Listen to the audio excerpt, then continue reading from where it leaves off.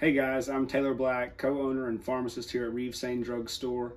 I am a celebrity speller in the 2023 Celebrity Spelling Bee for Read to Succeed.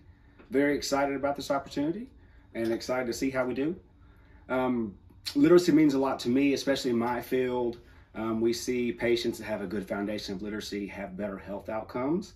We know when they don't have that foundation of literacy, it's hard to know how to treat yourself and how to be healthy if you don't have the means to follow those directions healthcare professionals give you. So literacy is very important to me, especially in my field.